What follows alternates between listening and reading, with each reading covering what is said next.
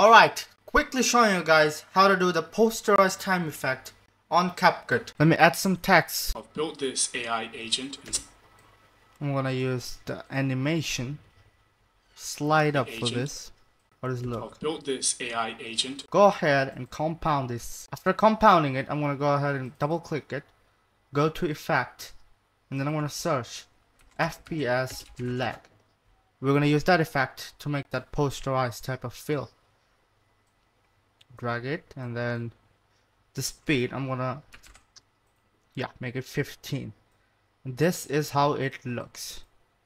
I've built this AI agent inside You see that? You can use it like on on on images as well. Let me just put one image, whatever it is. Let me let me use this image. Why not? Why not? Uh, I'm gonna actually remove the background. Just just why not? Look at this. Shark looking good. Animation slide up. We could actually compound this one as well just to add a little bit of glow. Should I use this one? Let's see. Good enough. There we go. There's the there's the guy. I've built this AI agent inside of n8n and all I need to do is drop See, you can. Th this is done. Then the, the, the tutorial is complete. This is so easy. All right, and you can do it in CapCut. You don't need any other software. Man, CapCut is the goat. And I'm glazing CapCut too much. Anyway, this is this is it for the video.